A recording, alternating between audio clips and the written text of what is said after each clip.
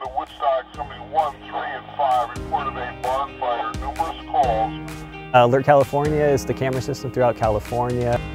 The system is faster than typical staffed lookouts. Before, you only had a couple staffed lookout towers that would have to be in that geographical area or the column would have to build up enough for them to visualize it and see. And then they're going off of bearing and distance. The Alert California with the AI technology and 1,145 cameras throughout the state draw a polygon around the five closest cameras and we'll zone in on that and turn all the cameras that way so we're looking at one area and that helps us put in a, a geographical location in our CAD system to dispatch the vegetation fire.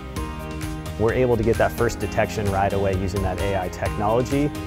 Uh, the Alert Californians have given us multiple first anomalies or first uh, notification into the dispatch center prior to any 911 system.